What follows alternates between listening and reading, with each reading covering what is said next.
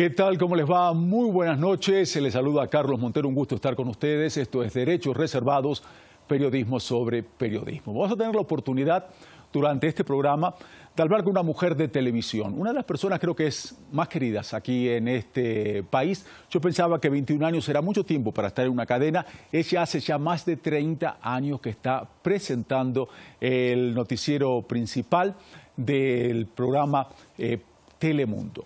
Quiero que les presentar y compartir con ustedes un eh, video y luego le daremos la bienvenida a nuestra invitada. Tania Tinoco, machaleña de nacimiento pero guayaquileña de corazón. A los 20 años entró a Ecuavisa. Ahí se inició como presentadora de noticias en Telemundo, junto al recordado Alberto Borges, espacio que ahora dirige. Periodista, reportera, productora, directora y conductora de televisión. Actualmente es directora y presentadora del programa investigativo Visión 360. Ha realizado coberturas destacadas como la del conflicto del CENEPA, la invasión estadounidense a Panamá, el funeral del temido narcotraficante Pablo Escobar en Medellín. El documental sobre los niños de Génova le valió el Premio Nacional de Periodismo Eugenio Espejo en la categoría Televisión. Le damos la bienvenida a Tania Tinoco Márquez. Tania, adelante. Un gusto tenerte con nosotros. Muy buenas noches. Encantada. Qué generosas palabras por favor, para presentarme. Lo que no dijimos en la presentación, por favor, Tania. Tus comienzos como periodista, eras muy joven, eras una estudiante. Tenía 19 años, sí. ¿Y cuando entrevistaste al Puma? Ah, no, tenía 15 años. 15 años, sí, por eso me parecía que eras más joven. Ahí fue cuando, en el, era para el... Para el periódico, del colegio. del colegio, tu colegio. Y ahí lo entrevistaste al Puma Rodríguez. Ahí fue cuando se despertó tu vocación por este, mm. esta profesión. Bueno, tal vez tuve la fortuna de descubrirlo muy pronto, ¿no? Sí. De saber que quería ser una contadora de historias. Y es lo que sigo siendo y es maravilloso que puedas hacer una carrera en aquello que amas, en aquello que te apasiona. Entonces nunca es trabajar, es hacer lo que haces, hacer lo que eres, eh, periodista. Soy una periodista completamente convencida y enamorada y apasionada de mi trabajo. Y los periodistas somos contadores de historias. Sí, tratando de acercarnos a la verdad lo más que podemos. Lo más que podemos en estos tiempos tan especiales que vive el periodismo, en una sociedad muy polarizada, ¿Cómo haces para contar historias y para acercarte lo más que puedas a la verdad? Fue muy difícil, te refieres a la época pasada. Porque, la época eh, pasada, el eh, presente, cómo construir, bueno, eh, cómo se vive hoy Tengo que marcar necesariamente una diferencia. A ver, la década, la década anterior. ¿verdad? En que tuvimos los periodistas una carrera de resistencia. El periodista independiente que me diga que durante esa época no se autocensuró, no está diciendo la verdad. Y sí, vino un nuevo gobierno y tengo que decirlo, respiramos otros aires. ¿Tú te autocensuraste entonces? Y yo creo que ningún otro periodista sí. que hacía lo posible por acercarse a la verdad no se censuró teniendo como una espada de Damocles esto que se llama la ley de comunicación que sigue vigente. Eh, te cuento algo, la ley orgánica de comunicación que sigue vigente, se están estudiando reformas, tú estuviste, tú estuviste hace unos días precisamente en la Asamblea. De eso vamos a hablar en profundidad eh, más adelante y queremos compartir con nuestra audiencia tus conocimientos sobre el tema. Te cuento cómo es la dinámica del programa. Además de la charla nuestra, la conversación sobre periodismo, tenés distintos estudiantes que te ven a ti como una figura a seguir, que les gustaría hacerte preguntas y le dimos la oportunidad. Empecemos Uy, qué miedo. Los periodistas, los estudiantes son los que hacen las preguntas más difíciles. Totalmente. ¿Qué tan difícil es ser periodista y mantener intacta la credibilidad? Es una pregunta clave porque lo único que tiene un periodista es su palabra, es su credibilidad. Y por eso cuando trataban de, de, achacarnos, iban justamente a eso, a querer minar esa credibilidad. Nos llamaron corruptos, mediocres, faltas de ética, eh, gorditas, horrorosas, etcétera, etcétera. Entonces iban justamente a eso. Me refiero a quienes conformaron este aparato represor, este grupo de personas que perseguían a quienes hacíamos periodismo independiente. Pero yo no me quiero quedar en el pasado. quiero creer que eh, vamos a seguir avanzando y construyendo y seguir manteniendo la credibilidad. ¿Qué es el formato de este programa? Justamente ver, compartir con ustedes, periodistas ecuatorianos, cómo vivieron los últimos años y qué se puede hacer para avanzar. Vamos a hablar más adelante de la ley orgánica de comunicación. Pero me refiero a lo siguiente, esta falta de credibilidad, que es lo, el mayor capital que podemos tener nosotros como los periodistas, estamos pasando por un mal momento. Me, tipo, yo aquí conversando con la gente aquí en Ecuador, eh, cuando hablo de los periodistas, les explico del formato del programa la imagen nuestra está, no sé si estará en el piso, pero está unos dos escalones más arriba. ¿Qué podemos hacer para revertir esa situación, para que la imagen nuestra eh, tenga entre nuestros televidentes o nuestras eh, personas que nos siguen, lectores, que suba un poquito?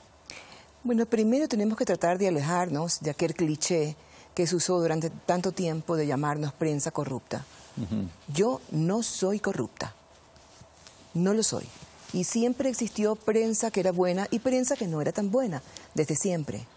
Pero aquí hubo sí una campaña para desprestigiarnos. ¿Qué podemos hacer? Recordarle a la gente que nosotros, quienes conformamos la prensa, somos lo que les decimos a la gente lo que muchos quieren ocultar, lo que muchos quieren que nos olvidemos, que lo dejemos de lado. Recordarle a la gente que nosotros no somos ni jueces ni fiscales, mm. que nosotros no somos micrófonos de los criminales, pero que tampoco hacemos relaciones públicas de las autoridades, que las autoridades no son nuestros jefes y que se necesita del periodismo para conocer la verdad, para que la ciudadanía esté informada como es ese derecho humano, porque la información, el derecho a la información, es un derecho humano. Te digo la otra parte de esta campana, los gobernantes que se sienten aludidos por nuestras investigaciones, por nuestros trabajos, nos acusan de intentar desestabilizar, acusan a muchos periodistas de estar tras intereses económicos que buscan desestabilizar un gobierno democrático. Pasó no solamente en Ecuador, pasó también en otros eh, países de nuestra querida Latinoamérica. Ante esta situación, indudablemente, ¿cómo podemos hacer nosotros para independizarnos, que la gente no nos eh, relacione con ningún conglomerado económico, que no nos relacione con un gobierno, que no nos relacione con ningún tipo de interés y que solamente nos relacione con lo que tiene que ser nuestro trabajo, informar y dar la verdad. Creo que dos cosas tenemos que hacer. La primera, efectivamente, ser periodistas decentes y tener una vida decente. Porque tú no puedes decir como periodista lo que no dices como caballero o como una dama. Entonces necesitas tener una vida de acuerdo a lo que eres la primera cosa. Y la segunda, que es la que estamos haciendo algunos periodistas en el Ecuador, es ir a diferentes foros universitarios especialmente, a volverles a recordar la necesidad de los ecuatorianos y de la gente de tener una prensa. Sin prensa independiente no hay democracia. La prensa cumple aquel papel de informar, de que la ciudadanía conozca lo que muchos quieren ocultar. Y como lo digo, lo he dicho siempre y lo repito, este es un derecho humano. Nosotros estamos cumpliendo un derecho humano. Tú vas a las universidades, acá te traemos un estudiante, pues vamos a ver si la información es eh, un derecho, es un servicio, que es un tema también conjuntural. Pero escuchemos lo que nos dice ahora este compañero nuestro, este estudiante. Si sabemos que los medios tienen una línea editorial, ¿cómo el periodista puede mantenerse objetivo? Es lo que estábamos hablando anteriormente, ¿no? Porque todos los medios sí tienen una línea editorial, eso es verdad. ¿Estamos de acuerdo en eso? Pero ¿Cómo nos mantenemos nosotros objetivos ante la línea editorial de un medio? Tú puedes, como periodista, puedes negarte. Puedes negarte. Ir contra tus jefes. ¿Por qué no? Puedes hacerlo. Pero Yo, está en juego tu trabajo pues tienes que correrte ese riesgo. Yo no recuerdo, de verdad, que a mí me hayan prohibido sacar tal o cual cosa. Lo que sí recuerdo es que me he autocensurado. He preferido no meterme en un tema que podía eh, tener riesgos legales, que podía tener riesgos de todo tipo. Mira, me pasé 10 años sin pasarme ni siquiera una luz, una luz en amarilla, así me cuidaba. Y, entiendo que en muchos estudiantes, especialmente jóvenes, se sembró esta idea y esta semilla desafortunada de que los periodistas obedecemos solamente a ciertos mandatos de, eh, de grupos económicos o de grupos políticos y eso no es verdad. Tú eres una periodista que tiene una vasta experiencia y me llama la atención en este programa que entrevistamos a periodistas muy representativos a todos nos marcó muchísimo eh, los 10 años del gobierno de Rafael Correa. ¿Cómo fue previo? ¿Cómo era la situación de los medios que tú trabajaste antes de Rafael Correa, por supuesto? ¿Cómo era en aquel entonces? Bueno, siempre teníamos una, una prensa que era buena y otra que no era tan buena. ¿Y quién lo calificaba? La misma gente.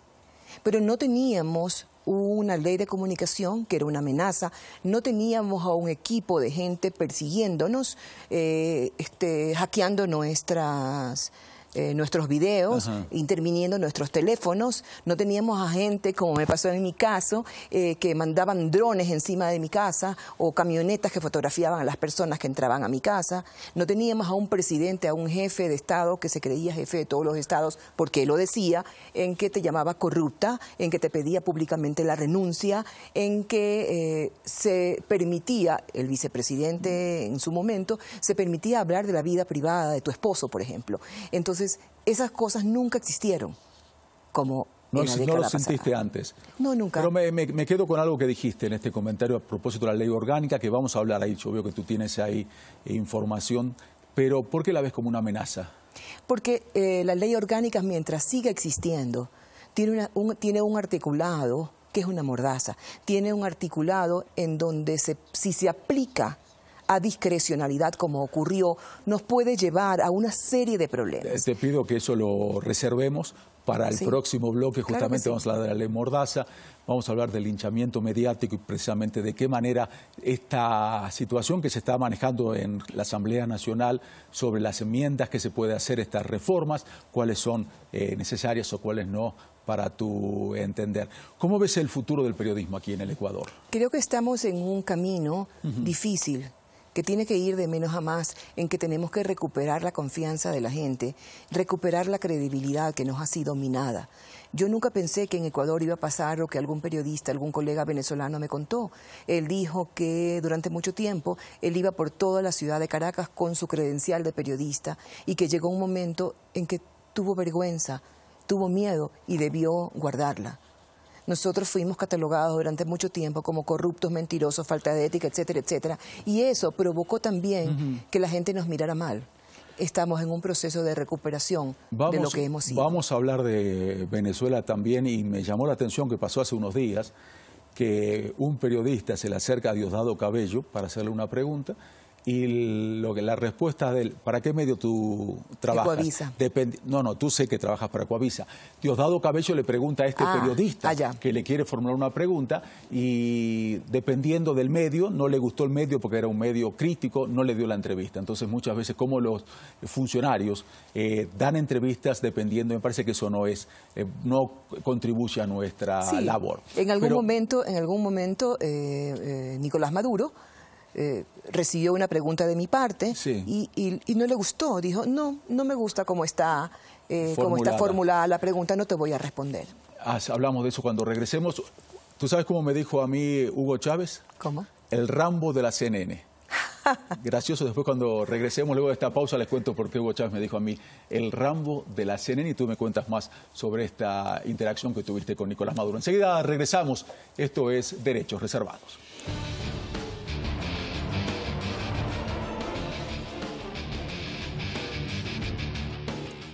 Eh, continuamos en Derechos Reservados. Este segmento se lo vamos a dedicar, Tania, a la ley orgánica. Veo que te viniste preparada. Vamos a hablar de los ejes y quiero escuchar tu opinión, pero te cuento por qué me dijo el Rambo de la CNN el presidente Hugo Chávez. No iba, no iba a pasar a esto si no contabas la anécdota. No, no, no, te cuento, porque a mí me gusta, creo que a ti también te gusta, estar en la calle, investigar. Entonces, cuando fuimos a hacer eh, una serie de informes para la CNN en Venezuela, yo me meto en uno de los barrios bastante peligrosos, Petare, de, Caracas y hacemos el informe sobre la situación, cómo era Petare, y cuando ve este informe, Hugo Chávez dice, pero ¿quién se cree este Rambo de la CNN? Lo quiero tener acá en la conferencia de prensa porque quiero hacer unas preguntas. Nosotros queríamos una entrevista cara a cara, porque indudablemente en una conferencia de prensa el que maneja la situación es el, presidente. No aceptó eh, la entrevista con nosotros, quería que yo vaya a la conferencia de prensa, pero bueno, me quedó el apodo del Rambo de la CNN. Todavía pasó hace muchos años y algunos venezolanos me, me, dicen, ah, ¿cómo le va Rambo? Le digo, bien, sigo siendo Rambo, pero en fin. Ley Orgánica de Comunicaciones, vamos por partes. La última vez que yo estuve en Venezuela intentaron, intentaron deportarme, andaba la SEBIN con una foto mía y decía, ¿dónde está esta mujer. ¿Tanto? ¿Sí? y luego, gracias a, bueno, a mi colega periodista Gustavo Cortés, que me escondió, yo por fortuna me había bajado de ese carro unos minutos antes, y luego me buscaban para deportarme. Qué, horrible trabajar bajo esas condiciones, qué difícil trabajar bajo esas condiciones. Vamos a la ley orgánica. Tenemos una videoclaqueta con los ocho ejes principales eh, para la ley orgánica de comunicación. Vamos a verlas por partes. Ejes trascendentales de esta reforma. Eh, uno, respeto a estándares internacionales sobre libertad de expresión. La número dos, paso de un esquema administrativo de control y sanción a uno de protección o tutela, que este es un tema polémico que me gustaría que tú lo ampliaras, de, o tutela de los derechos en la actividad de comunicación, incluye la eliminación de la Supercom. Muchos periodistas demandan eso. Tercero, fortalecimiento de la institucionalidad del Cordicom como regulador, promotor y desarrollador de la comunicación. Cuatro, promover la autorregulación de los medios de comunicación que permita mejorar la calidad y responsabilidad en su actividad. Esos son cuatro de los, de los ejes. Eh, tenemos los otros cuatro, conceptualizar claramente los medios públicos, privados y comunitarios, eso me gustaría que me lo expliques también, debatir sobre la comunicación como derecho y no como servicio público, este es un tema muy actual, eh, se mantienen aspectos sustanciales de la ley actual respecto a protección de derechos en la difusión de contenidos, transferencia de las acciones de los medios incautados. Sí, sobre estos ejes hemos hablado mucho en los últimos tiempos. De hecho, estuve la semana pasada invitada en la Asamblea Nacional para hablar al respecto. ¿Tú estuviste invitada en calidad de...? En calidad de periodista. De periodista, perfecto. En calidad de periodista. No en, representación de ningún grupo, fuiste en calidad de periodista. Sí, fui invitada como eh, periodista en alguna ocasión. Habíamos coincidido con la presidenta de la Asamblea. Ella me invitó y luego recibí una carta de Jorge Corozo, que es el presidente de la comisión que analiza estas reformas. Lo que yo quiero recordarle a los televidentes y recordarte a ti es que la ley en el, en el primer artículo empieza diciendo que todo, absolutamente todo, es eh, es, susceptible de ser controlado, que todo. Entonces, una ley que empieza así, ya podemos imaginar cómo termina. Es decir, según la ley de comunicación, si estamos en una transmisión en vivo, lo que dice un invitado también es responsabilidad tuya, es responsabilidad del periodista que está allí y es responsabilidad del medio de comunicación. Es así como empieza la ley de comunicación y eh, a través de sus diferentes eh, artículos, eh, obviamente se convierte en una ley. Vamos, vamos por partes. Si, si, producción podría poner nuevamente este, a claqueta, porque quisiera, vamos a ver este, este paso que tú decías, ¿no? Uno, claro, este es el tema polémico, paso de un esquema administrativo de control y sanción a uno de protección, tutela de, los derechos en la actividad y la eliminación de esta polémica Supercom. ¿Ahí estamos bien o no? Estamos bien y por fortuna ya hubo voces eh, oficiales eh, que hablaron de la eliminación de la Supercom. Ahora, ¿qué es el peligro que persiste? Que todas esas herramientas que tenía la Supercom se las pasen a la Cordicom. Y que la Cordicom, que es en el eje número 3, y que la Cordicom ¿verdad? Se vuelva entonces en el nuevo ente controlador y regulador, pero dominado por el Estado. Y entonces así no, no, habríamos cambiado de una figura a otra, pero con las, mismos, las mismas herramientas que pueden perjudicar a la libertad de expresión. Y esto que dice aquí, fortalecimiento de la institucionalidad del Cordicom, eso es lo que te, asusta Me que preocupa que se pasen claro. las mismas herramientas. Por, se, ha propuesto que las tenga la Defensoría del Pueblo, pero la Defensoría del Pueblo tiene otro tipo de, otro tipo de connotación realmente tiene que defender al pueblo del Estado. Tania, para poder seguirte, ¿por qué no nos cuentas de qué manera esta ley orgánica de comunicación afectó tu trabajo? ¿Por qué nos das eh, Solamente quisiera que me permitas hablar del tema de la Cordicom. Sí. Que, tiene, que estoy de acuerdo con que exista la Cordicom, pero la conformación de la Cordicom no puede estar en manos de los poderes del Estado mayoritariamente, porque entonces tendríamos un ente estatal controlador del periodismo independiente. ¿Tendría que estar en manos de quién la Cordicom? Esta Cordicom debería estar en manos de todos. Sí, también puede, eh, deben existir representantes del Ejecutivo, porque no representantes de las universidades, representantes de los medios de comunicación. ¿Cómo sería la selección de, los miembros de Podría la Podría ser una selección en donde no exista una mayoría de miembros que representan a los poderes del Estado. Que sea plural, entonces. Pluralista. Pluralista. Cuéntanos ahora cómo fue que esta ley orgánica de comunicación te afectó en tu trabajo. Danos casos concretos. Yo la traje, yo la traje porque con, esta, con estos papeles me sentaba cada día a trabajar. Y cuando venía un tema tenía que estudiar primero si nos afectaba de alguna manera y por eso el resultado es que me autocensuraba. Cuando llegaba un tema de carácter judicial, como la ley dice, que no puedes tocar el tema hasta que no esté un hecho debidamente, un caso no sea sentenciado y se haya ejecutoriado la sentencia, entonces muchas veces tenía que dar un paso atrás.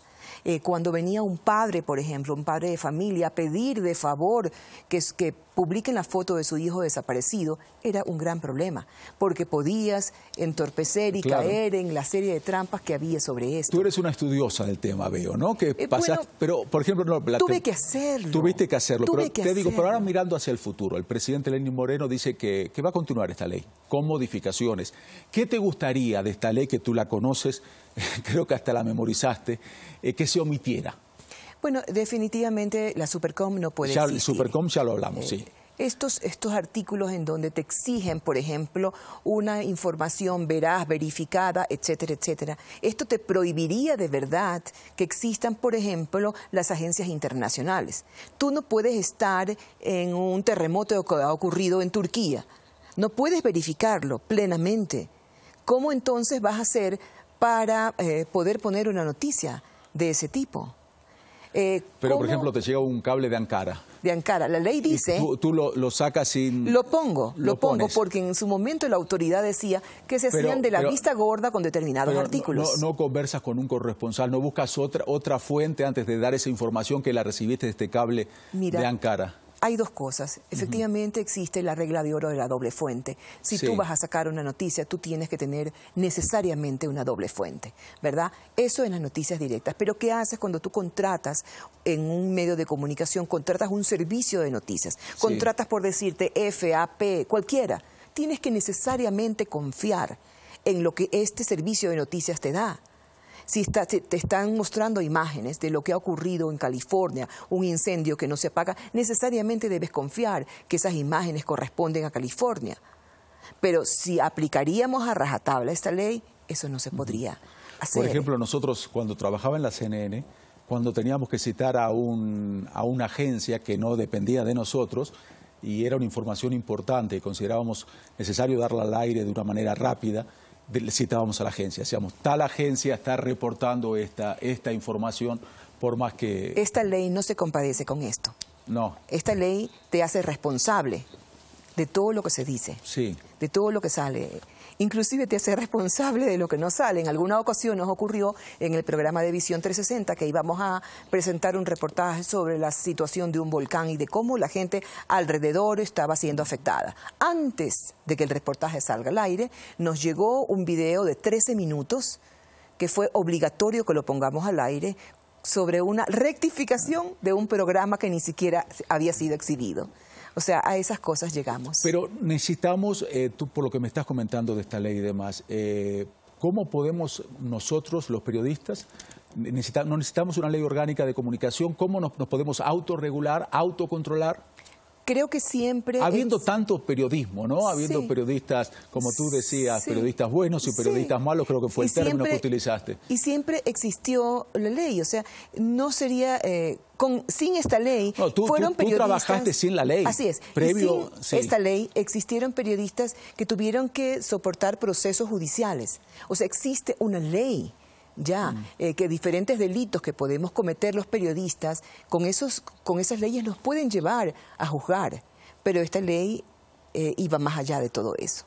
En la Constitución, artículo de la Constitución, hay en la, En la Constitución dice que tiene que existir una ley de comunicación. Una ley de comunicación. Y ya que tiene que existir necesariamente, creo que perdimos una gran oportunidad de haber hecho la pregunta en la última consulta, pero bueno, no se hizo, tiene que existir una ley, entonces que esta nueva ley que va a salir de, del proceso mm. que, se lleva en este momento en que conversan los diferentes poderes del Estado, escuchan a los protagonistas, esta nueva ley recoja básicamente eh, el sentir de muchas personas que hacemos eh, que hacemos periodismo independiente, que somos periodistas activos, y, se deroga especialmente ese articulado que es eh, comparado con una ley mordaza. ¿cómo, ¿Cómo te sentiste cuando fuiste a la Asamblea Nacional justamente para exponer estos puntos que estamos hablando? Sabes que fue, fuimos tratados con mucho respeto. Con mucho respeto. Con mucho respeto. ¿Fuiste tú y quién más? Eh, María Josefa Coronel, Gustavo Cortés y yo fuimos los tres invitados. la, la comparecencia fue de mayor tiempo del que se esperó y aunque empezó ¿Cuánto tiempo un poco, fue la comparecencia? Eh, en total duró como una hora. Eh, iban a ser 30 minutos y en principio eh, vimos algunos asambleístas un poco un poco con rostros adustos, un poco serios, pero esto terminó muy bien y terminó tan bien que recibimos la promesa de cada uno de ellos a excepción del asambleísta García, todos se comprometieron a hacer la mejor ley posible y todos y cada uno eh, reconocieron lo que nosotros habíamos pasado durante la década pasada. ¿Se fueron conformes ustedes luego Nosotros de nos fuimos conformes y con esta, con esta promesa y este compromiso. ¿Qué, ¿Qué tiene que regular a nuestra profesión? ¿Qué tiene que regular al periodismo? ¿La ética?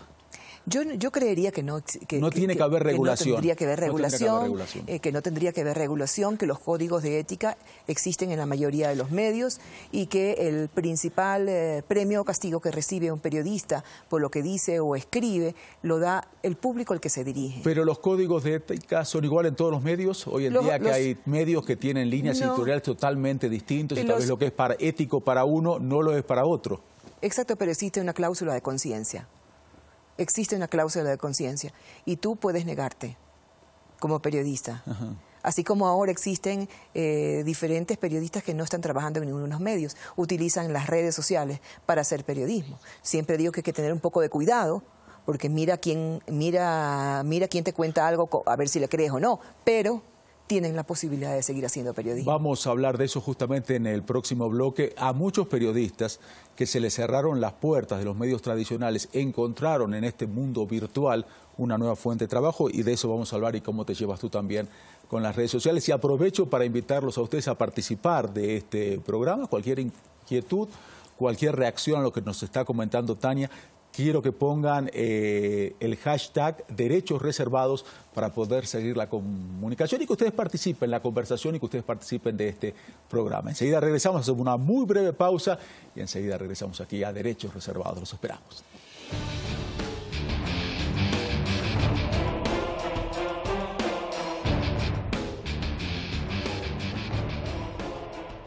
Estamos conversando aquí con Tania Tinoco en Derechos Reservados y lo que me interesa de este programa que podemos conocer un poco más del periodista. Hay distintas historias, distintas anécdotas. Y una de las historias y anécdotas que a ti te marcaron, o por lo menos que yo lo recuerdo viéndolo desde afuera, cuando tuviste que salir a proclamar a los cuatro vientos que no iba a renunciar Tania Tinoco. No voy a renunciar. Sí. ¿Por qué no nos cuentas cómo fue esa situación? Bueno, era, era un fuerte, sábado. ¿no? Era un sábado, un día, un día de la sabatina. Yo me estaba arreglando para grabar un programa y de pronto eh, Clarita Ayala, que es la persona que me maquilla, y yo nos quedamos mirando y ella apagó la secadora de pelo porque escuchamos al presidente Rafael Correa, el presidente de entonces, que me pedía públicamente la renuncia. En que me decía, bueno, unos calificativos que no tenía por qué aceptárselos y me decía que yo debía renunciar. Y entonces yo como periodista, ¿qué es lo que tenía? La herramienta es el Twitter, eh, medio de comunicación que se convierte en su, momento, aunque es una red social. Y entonces yo fui eh, al baño, respiré un poco, medité un poco y escribí cuatro tweets. Y lo que yo le dije al presidente fue, yo no juego con eso, yo no soy como aquellos, me refería a él mismo, que hablan de renunciar y no lo hacen. Yo no, yo no, yo no juego con esas cosas, no juego con esas palabras. Y bueno.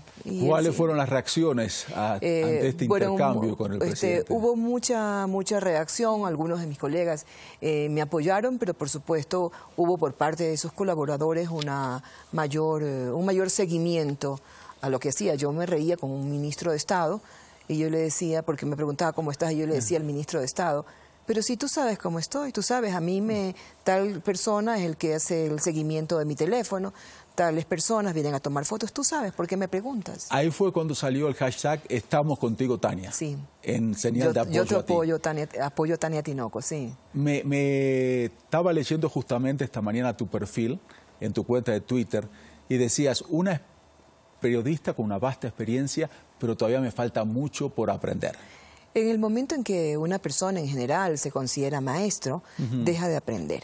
Y en verdad, alguna vez escuché a un famoso médico de apellido Carvajal de Colombia, que es un, es un gran filósofo, y él decía que hay que ir por la vida con la actitud del aprendiz. Y creo que también voy por la vida con esa actitud, aprendiendo. Y aprendo de los jóvenes tremendamente. ¿Cómo te, te manejas en- en- con estos nuevos medios que están surgiendo? Estamos hablando anteriormente de este mundo digital, de estas plataformas, de estos blogs, de estas redes sociales, Twitter, Facebook. En alguna, en alguna ocasión, un compañero mío de trabajo, Ronald Córdoba, me hizo, señora, usted no puede seguir siendo una analfabeta digital. ¿Cómo? Dice, usted tiene que abrir una cuenta de Twitter hoy. Esto fue hace como cinco años. Y entonces, a partir de, ento- a, partir de ese momento, empecé poquito a poco en Twitter y ahora soy una tuitera consumada, me encanta. Qué Y bueno. no me siento a trabajar cada noche sin tener mi cuenta abierta porque es una forma de enterarme de muchas cosas que Claro. pasan. Recordémosle a la gente, o sea, cuando lo matan a, a Bin Laden, ¿cómo se entera el mundo? No por una cadena de televisión, se entera por un tuitero, porque el tuitero estaba en la misma ciudad en donde se hizo el ataque para, eh, para eh, acabar con la vida de Osama Bin Eh, Laden. Era un vecino justamente que él se enteró en del Twitter. operativo que Así estaban es. realizando donde estaba Osama Bin Así Laden. es. O sea que salió. las ¿Puede redes- pasar, Tania, que en estos momentos en las redes encuentres información como esa información que este hombre, que fue un testigo preferencial Así de este es. operativo contra Osama Bin Laden y lo puso en su cuenta de Twitter, que encontremos información en este medio, yo también soy fanático de Twitter, que no lo encontremos en, en los medios tradicionales. Me estaban tú en Guayaquil, me estaban comentando de un caso de uno en un country privado, en un barrio privado, un incidente que hubo de un- una familia que vivía ahí Así es. con unos guardias unos de guardias. seguridad. Ese video se hizo primero público en las redes sociales, tuvo mucha repercusión y los medios no lo tocaban. Encontramos información en estos medios no tradicionales que tal vez nosotros no se la ofrecemos a nuestra audiencia. De ¿Y hecho, por qué si sucede de eso? hecho, de hecho ocurrió anoche. Tenía la información en el video, pero hay dos cosas. Primero, en ese video no sabes quién de los que está allí es un menor de edad. Y puedes tener, según la ley, muchos problemas. Sí. Segundo, eh, no se puede, según la misma ley, utilizar un video si no está autorizado. El video no está autorizado para nosotros poderlo utilizar. Tercero, buscamos al fiscal de la causa y el fiscal eh, ni siquiera quiso identificarse. Buscamos al médico legista el que dio apenas tres días para que el guardia se recupere y que no vea nada, y tampoco apareció. Por lo tanto, sin fuente oficial, sin este, esta, esta regla de oro de la doble fuente, voy a decidir no poner la noticia porque soy responsable. Tú que sos responsable, ¿tú crees que, que no haya regulaciones tan estrictas en estos nuevos medios como los tenemos nosotros en los medios tradicionales? Estoy- Hace, pone nuestro trabajo en desventaja y no estamos cumpliendo indudablemente con nuestra función de controlar un lugar que la gente hoy en día busca información. Me llama la atención que, según un estudio que estaba leyendo, hoy la gente, el 40% de la información la recoge de las redes sociales, de Twitter, Sí. de Facebook. Así es. El, el asunto es que no tenemos en, en- en redes sociales la oportunidad de saber quién escribe qué.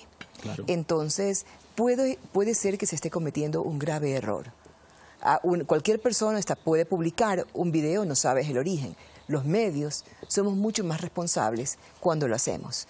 Pero cuando el tuitero ve algo que ocurrió en su, en, su, en su teléfono celular, ¿qué es lo que va a hacer? Va a ir al noticiero tradicional, a prender la televisión y a querer ver que estos personajes se lo cuenten. Y entonces sí lo van a terminar de creer, porque también hay muchas mentiras que se dicen en las redes sociales y también se usan las redes sociales como, eh, como herramientas de insulto, como herramientas de provocación. en ¿no? eso, entonces tienes sí. que, pero estás en ese juego, tienes que aprender el juego. Claro. Cuando ves inmediatamente un huevito con, que no tiene rostro, ¿verdad? Con una frase un poco extraña, puedes Es imaginar que es un troll. sospechosa, es Uh, una puedes cuenta. Exacto. Tania, vamos a darle Entonces, a paso a una estudiante que Claro. estoy seguro que ella utiliza muchísimo las redes sociales, a Claro ver qué que quiere sí. saber.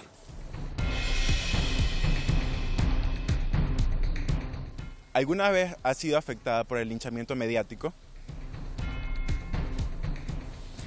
Bueno, en alguna ocasión también en el gobierno anterior hubo una autoridad que pretendió declararme persona no grata de la provincia de Esmeraldas, una provincia que quiero mucho, por cierto, eh, acusándome de haber dicho algo que nunca dije. Entonces, eh, alrededor de esta autoridad hubo muchas otras que empezaron a atacarme de forma profesional y de forma personal. Yo, yo eh, entendí que así también es este juego estando en televisión, de alguna forma estás eh, en escena y te pueden pasar este tipo de cosas. Tú estás mencionando varios incidentes que tuviste con el expresidente Rafael Correa, pero tú bien, también tuviste problemas con otros gobiernos, ¿no es así? Te enfrentaste a otros gobiernos por distintos trabajos periodísticos que hiciste. Pues yo creo que a muchas autoridades en e, el, gobierno anterior y otras no les gustan los periodistas, no les gustan los periodistas que no lo presentan como ellos quieren verse. Y una vez te repito eh, lo que dije hace un momento, nosotros no somos ni jueces ni fiscales. Y tampoco somos relacionistas públicos. Tampoco estoy haciendo periodismo para hacer quedar bien eh, a alguna persona o hacerla quedar mal. De eso no se trata. Y algunos se resienten, piensan que poco menos que tu trabajo o porque te conocen, tú tienes que necesariamente hacerlos quedar bien y esa no es la verdad. ¿Cómo, cómo reaccionas como periodista cuando una autoridad te desacredita? Que lo viviste, me decías que desde... Yo lo que hago es que le respondo a través de Twitter. E increíblemente lo que puede causar un tweet eh, cuando el, vicepresidente, el ex vicepresidente eh, afectó a mi familia, intentó deshonrar a mi familia, hablando de mi esposo, etcétera, etcétera, eh, yo le contesté con cuatro tweets y nunca más pasó nada. Yo lo que le dije al vicepresidente en resumidas cuentas que yo no estaba nunca, nunca estaba mezclando las cosas y que yo jamás hablaría de su esposa o de sus hijos y que esto era simplemente esto era simplemente información que él podía él tenía todos los medios para aclarar o no aclarar la información. Dime cuando no existía el Twitter que es algo relativamente nuevo, creo que tuviste problemas con Flores Cordero también, ¿no sé Sí, también, por supuesto. ¿Cómo hacías en, en, ese entonces para responder? Era mucho más complicado. Era el mucho Twitter más te facilitó. Sí, y en aquella ocasión recuerdo muy bien el expresidente Febres Cordero sacó en mi contra un cuarto de página de Diario El Universo y nunca voy a olvidar el gesto amable generoso del director del diario El Universo que me ofreció un espacio para que responda al expresidente. ¿Los periodistas somos solidarios eh, ante una situación como esta cuando uno de nuestros colegas se enfrenta al poder? Yo creo que sí, o al menos es lo que yo intento ¿Tú hacer. Crees que sí? Yo, yo creo que sí, y es lo que intento hacer. Intento ser solidaria y yo agradezco tanta solidaridad de mis colegas conmigo también. Eh, el periodista ecuatoriano solidario. Yo creo que sí. Te cuento porque es un tema que en Estados Unidos se está debatiendo muchísimo. Jorge Ramos, que es un periodista muy conocido de la cadena Univisión, él está enfrentado, podemos decir, a Donald Trump, pues es muy crítico de Donald Trump.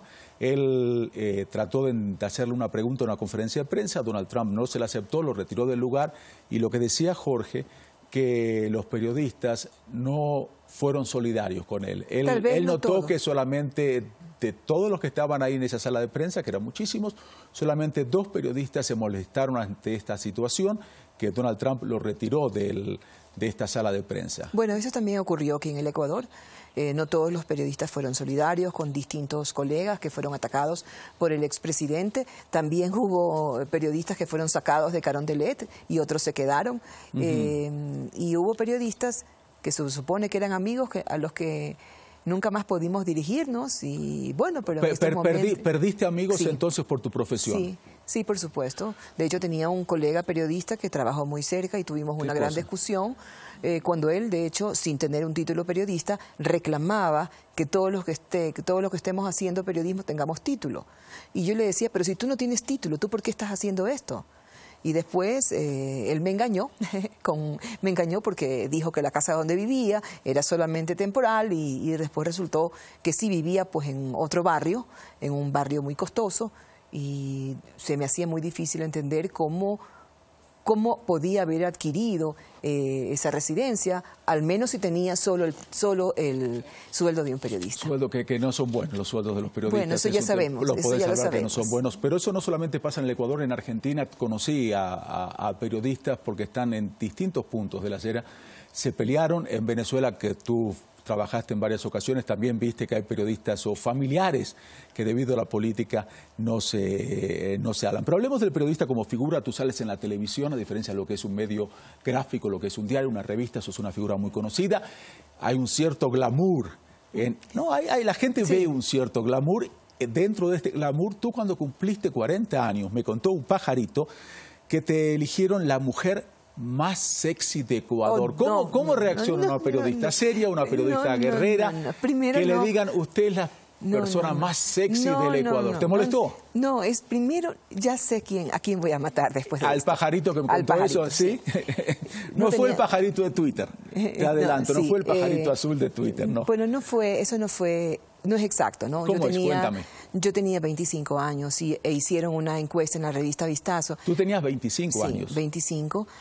ah, le pifió mi pajarito fuerte entonces. Y entonces eh, hicieron una encuesta. Sí. Una encuesta eh, sobre con qué mujer querían tener un affair o una cuestión así. la hizo la revista Vistazo y ocupé el segundo lugar. Cuando yo supe de esto, yo, me moría de vergüenza, de verdad, y todavía es un tema que me causa un poco de vergüenza, porque yo digo, eh, yo no soy, no soy modelo, nunca he sido reina de nada. La única vez que tuve unas, una cinta de madrina, créeme, fue por sorteo, porque siempre he tenido suerte, ¿no? Las monjas de mi colegio en el primer curso dijeron que todas las niñas eran lindas y que para elegir a la reina iban a, iban a ir a la suerte, y yo tuve la suerte. Pero, pero digamos, eh, volviendo al tema este que me llama la atención y quiero relacionarlo con un tema conjuntural, que te digan que a la mujer que más le gustaría tener una fer eras tú. ¿Cómo la labor de una mujer en el, periodismo? Ahora en Estados Unidos surgió un movimiento que es el YouTube y muchas periodistas, muchas actrices, muchas personas de distintos ámbitos dijeron, nosotros sufrimos acoso y en estos momentos es el momento para denunciarlo. Tal vez algo sucedió hace 15, sucedió hace 10 años. Eh, ¿Cómo es la situación de las mujeres periodistas aquí en el Ecuador? ¿Tú sufriste algún tipo eh, de eh, acoso? ¿Te sentiste eh, molesta ante un comentario de algún compañero varón, de algún jefe varón? En alguna ocasión me ocurrió con una autoridad. ¿Un jefe tuyo? No, con una autoridad, me refiero, era integrante de un gobierno, de un nuevo gobierno, y entonces me hizo una broma pasada de tono eh, y me tomó un poco del brazo y yo lo solté y entonces yo le dije eh, muy seriamente, ni siquiera se atreva a acercarse. Y si lo vuelve a hacer, se lo voy a contar a todo Ecuador. Hasta el día de hoy ese, ese señor me pide disculpas, realmente. No lo voy a permitir. A mí nunca me ha pasado, eh, nunca he tenido que vivir una situación como muchas otras personas la han vivido. Eh, pero en el Ecuador no solamente estamos hablando del tema de las periodistas eh, o de los periodistas, sino que estamos hablando de situación de mujeres, de muchísimas mujeres que están perdiendo la vida por caso de femicidio. Totalmente. Hagamos una muy breve pausa. Enseguida regresamos con más de esta edición especial de Derechos Reservados.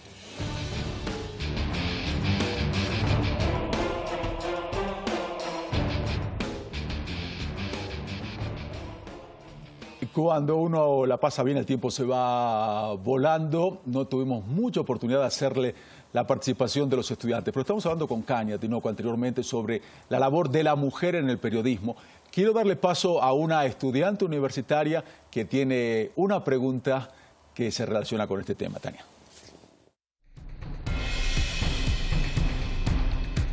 ¿Cómo define usted el rol de la mujer dentro del periodismo ecuatoriano? Mira, nunca me he sentido eh, con problemas por ser mujer periodista. De hecho, todo lo contrario. Creo que en estos momentos, además, hay más periodistas, mujeres, que hombres. En las universidades hay más periodistas mujeres o, eh, jóvenes que se están preparando para ser periodistas, mujeres que hombres. De hecho, hay más mujeres en la universidad que hombres, um, pero en Ecuador al menos. Eh, ¿Cómo lo definiría? Que nosotros tenemos que eh, hacer acopio de esas, de esas debilidades que dicen, que dicen algunos que tenemos y las podemos convertir en fortaleza. te cuento rápido que estaba el gobierno de Abdalá Bucaram y yo estaba embarazada y de pronto mi jefe dice que yo no puedo acompañarlo al viaje, eh, viaje oficial a Perú, porque estaba embarazada. Entonces yo le digo, pero yo no estoy enferma, estoy embarazada, pero no estoy enferma. Dice, ¿te vas con tu responsabilidad? Sí, me voy bajo mi responsabilidad. Me fui al viaje y obviamente el entonces presidente Bucarán me dio unas ventajas increíbles que resultaron en una mejor cobertura, porque tenía siempre el primer lugar, el primer puesto, la mejor Sí. vista, el camarógrafo tenía las mejores imágenes. Es decir, que a veces podemos hacer de esas debilidades, entre comillas, fortalezas especiales. Y te digo, tuve la oportunidad de trabajar con muchas mujeres, mujeres muy excelentes, preparadas, y la mujer periodista, también en producción, en producción tú vas a cualquier productora y encontrás muchas mujeres. Son mujeres muy trabajadoras, son muy duras, son muy fuertes. Aquí el equipo nuestro, el equipo que me trajo aquí, son todas mujeres y de débiles no tienen absolutamente nada. Y una cosa más, nosotras podemos, así podemos hacer dos cosas a la vez. Pueden, pero te cuento otra cosa que me llamó la atención en esta serie. Janet Nostroza estuvo con nosotros y me decía, eh, este es un medio muy absorbente. Dice, yo no podría ser directora de noticias. Le pregunté si le, inter- le interesaría ser directora de noticias. Tú estás manejando... No, yo no soy directora. Tú de manejas tu programa yo directora, Teleno- eh, Yo soy directora Telemundo. de Telemundo, De Pero yo Telemundo. no soy directora de Visión 360. ¿Tú te, tú te- tiene- tú te ves como directora? Ella, te cuento lo que me dijo Janet. Yo eh, tengo mi familia y si yo soy directora de un medio, me quita mucho tiempo me quita mucho tiempo de mis chicos. Yo no quiero hacer eso, no acepto. Tal vez un hombre tiene otra posibilidad de emplear más tiempo y sacrificar tiempo de su familia. Ella no aceptaba hacer eso. ¿Tú cómo lo ves? Bueno, yo, eh, yo trabajo en las noches, yo no trabajo en ¿Te el da día. tiempo? ¿Podés- podés compartir Tiempo, me doy tiempo. Sí. Eh, lo División 360 es, es, es parcial, Ajá. eh, lo, lo que yo hago, y sí, y yo he logrado un equilibrio de tener mi tiempo para mi familia, bueno. para mi esposo, para mis hijos, para mis hermanos, porque lo que soy, periodista, que es diferente, es a veces difícil eh, desligarte de esto cuando estás en otro tipo de actividades. O sea, lo tengo claro en el sentido de que solo, es solo una parte de mi vida. Quiero, qui- quiero que leerte una videocita tuya y me gustaría después que me des eh, el significado, porque hay que descifrarlo. Tú dijiste lo siguiente, lo dijiste en el diario El Expreso.